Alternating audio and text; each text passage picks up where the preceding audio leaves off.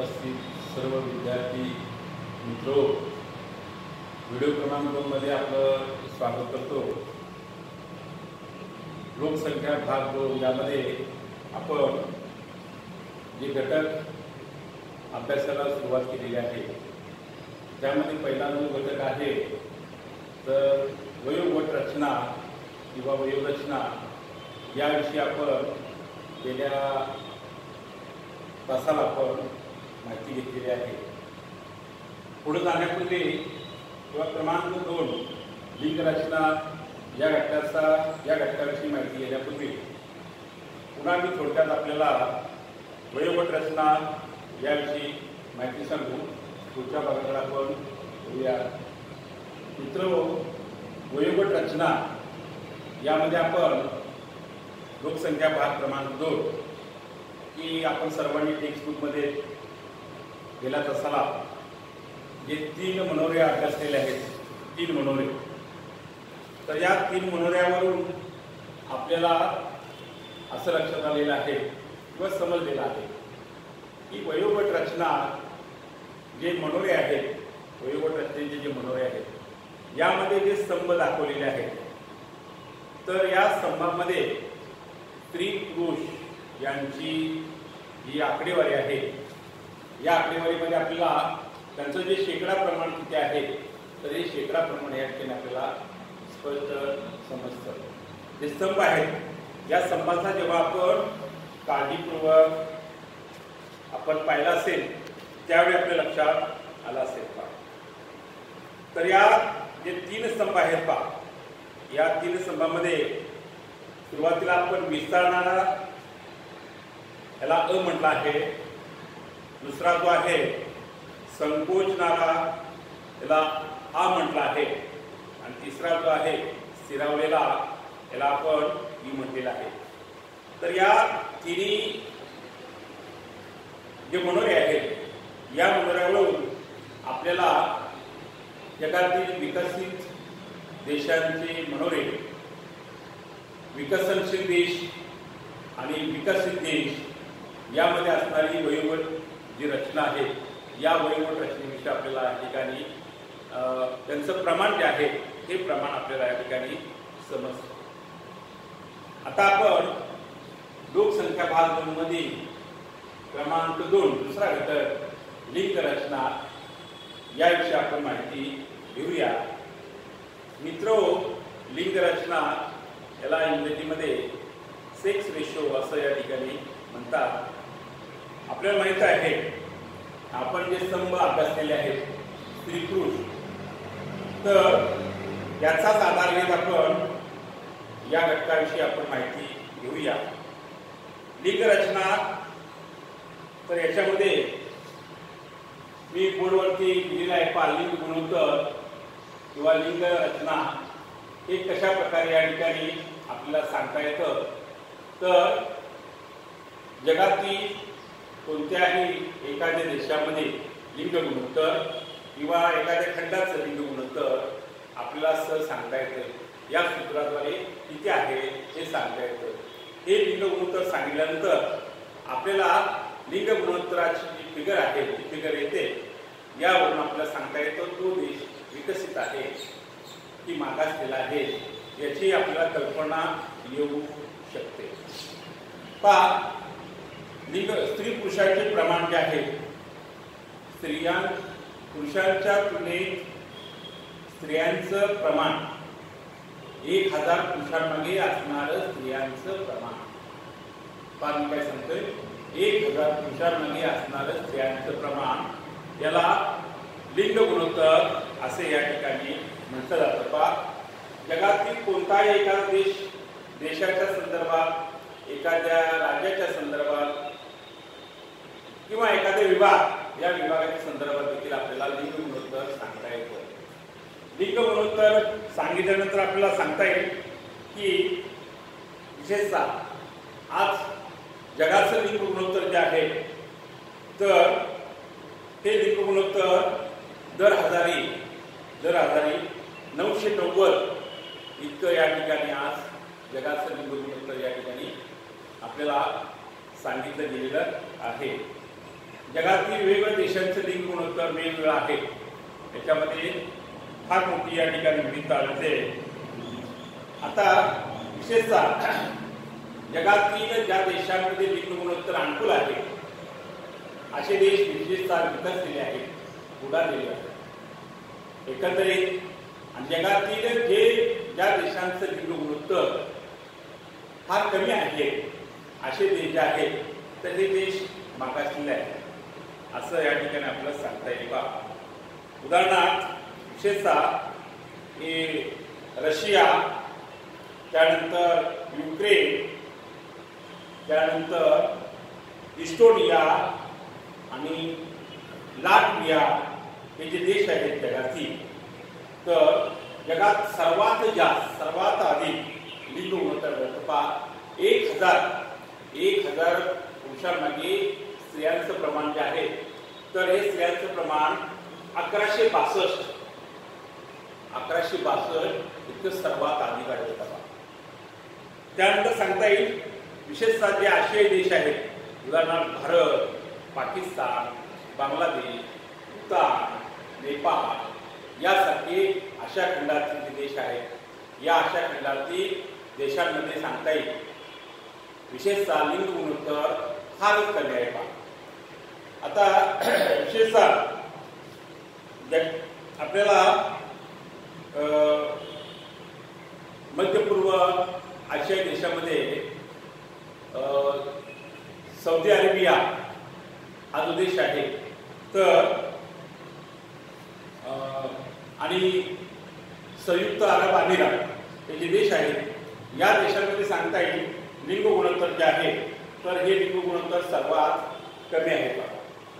संपूर्ण अशा खंड अशा खंडातील विकसित देश किंवा विकसनशील जे देश आहेत या देशांमध्ये आपल्याला लिंग गुणोत्तराविषयी माहिती सांगायला येईल तर जगातील कोणत्याही एखाद्या देशांचं किंवा खंडातील जे देश आहेत त्या देशांमध्ये एकसारखेपणा लिंग गुणोत्तराच्या बाबतीत आपल्याला आढळला जात नाही. तर सांगता येईल लिंग गुणोत्तर याचं सूत्र जे आहे स्त्रियांची एकूण संख्या भागिले पुरुषांची एकूण संख्या गुणिले एक हजार बरोबर. त्या देशाचं किंवा खंडाचं आपल्या ठिकाणी लिंग गुणोत्तर या ठिकाणी हे समजतं किंवा स्पष्टपणे सांगता येईल. आता लिंग गुणोत्तर आपल्याला माहीत आहे की स्त्री पुरुष पुरुषांच्या तुलनेत स्त्रियांचं असणारं जे प्रमाण आहे ते सर्वत्र सारखं नाही. विषम आहे. कमी अधिक आढळतं पहा याला अनेक कारणं आपल्याला सांगता येईल. या कारणांचा उलगडा आपण पुढच्या भागामध्ये आपण करणार आहोत. पहा याच्यामध्ये आपल्याला एक दुसरा एक उपघटक जो आहे लोकसंख्येचा लाभांश.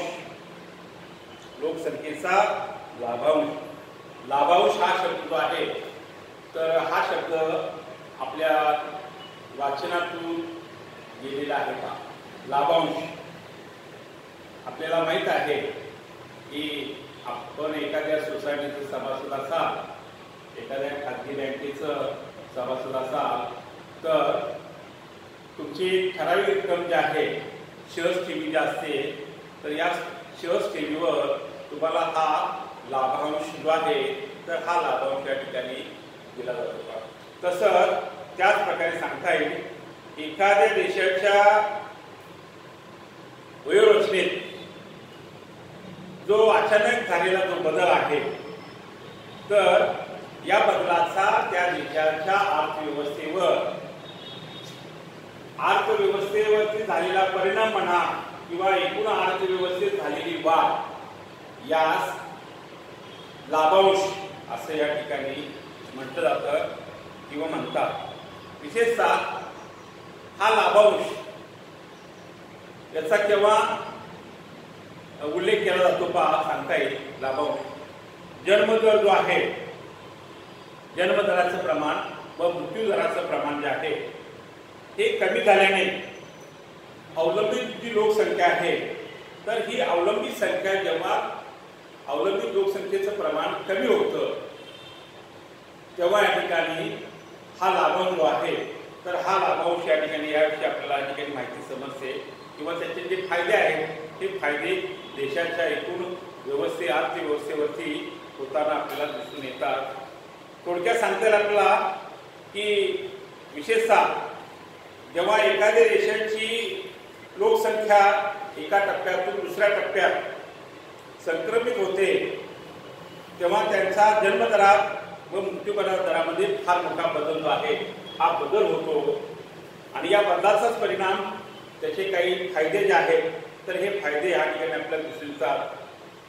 उदाहरणार्थ आपल्याला माहीत आहे की विशेषतः आपण वयोगट रचनेमध्ये जगामध्ये असणारी एकूण लोकसंख्या जी आहे या लोकसंख्येचे तीन वयोगटामध्ये विभागणी केलेली आहे. शून्य ते पंधरा पंधरा ते एकोणसाठ आणि सातच्या वरी असे तीन वयोगट या ठिकाणी करण्यात आलेले आहेत किंवा केलेले आहेत. शून्य ते पंधरा हा जो वयोगट आहे याला बाल वयोगट असं म्हटलं जातं पाच बाल वयोगट पंधरा ते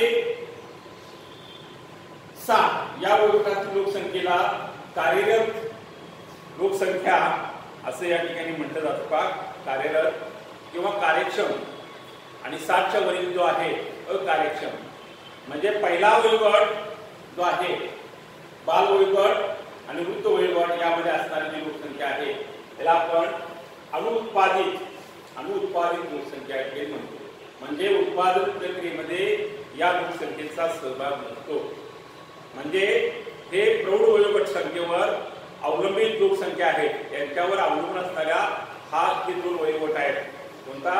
शून्य ते पंधरा सातच्या वरील जो वयोवृद्ध गट आहे तर या वयोगटामध्ये आपल्याला सांगता येईल की यांना अनुत्पादक लोकसंख्या या ठिकाणी असं या ठिकाणी म्हटलं जातं.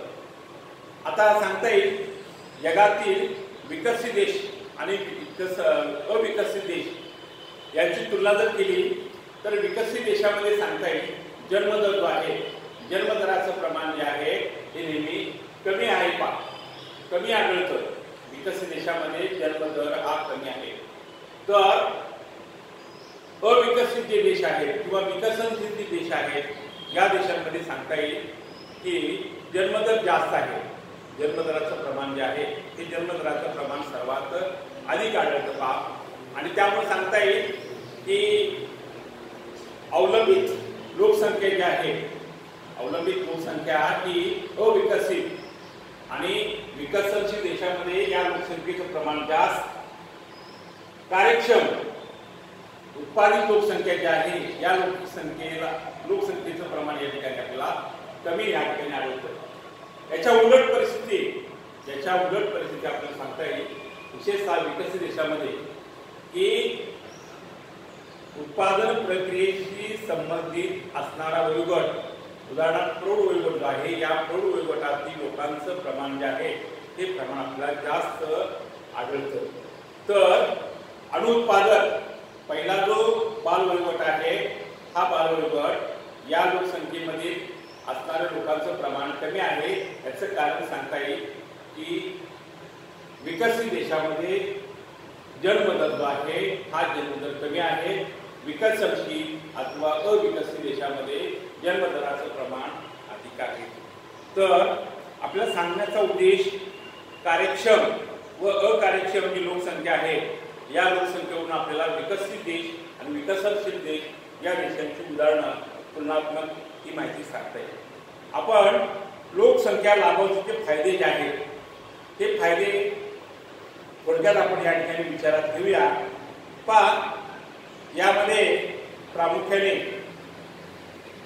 शिक्षण आरोग्य संशोधन विशेषतः इत्यादी क्षेत्रामध्ये सरकारने योग्य धोरणांची अंमलबजावणी करणं अत्यंत गरजेचं आहे.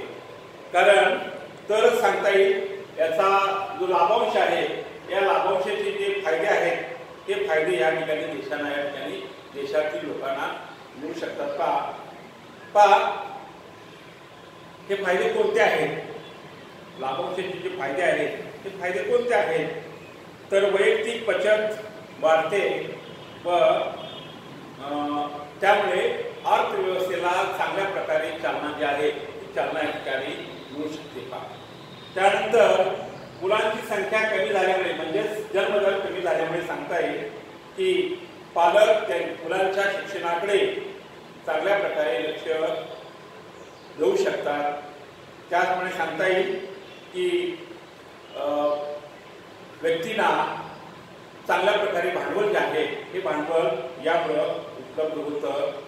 त्यानंतर देशातील महिला ज्या आहेत तर या महिला कार्यक्षम व आर्थिकदृष्ट्या सक्षम बनल्यास त्याचा देशातल्या देशाच्या आर्थिक विकासास फायदा होतो किंवा देशाच्या आर्थिक विकासास वाढीस हातभार लागतो.